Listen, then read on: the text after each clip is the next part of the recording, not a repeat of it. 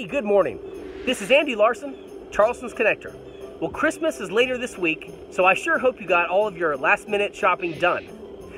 So this morning, I was reading LinkedIn and I saw that article that I was pointing to, and it said that over half of Americans are not going to get a raise going into next year. Most people become upset because they think, hey, I'm not going to be making more money next year. Well, the reality is, if you don't understand inflation and basic principles of finance, you're actually going to be working for less money next year.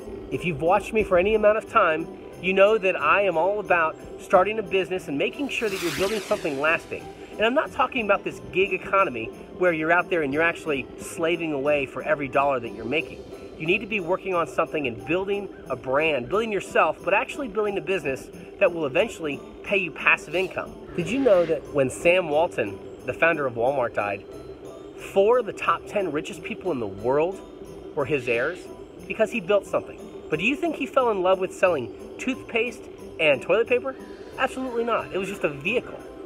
So as we go into a new year and a whole new decade, if that article scared you enough to realize that, hey, maybe working for someone else the rest of my life may not be the smartest track, and maybe I need to be building something for my family, then come along for the ride.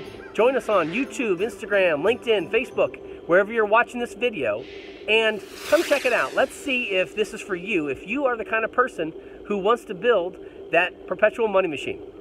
Have a great day and a Merry Christmas. This is Andy Larson, Charleston's Connector.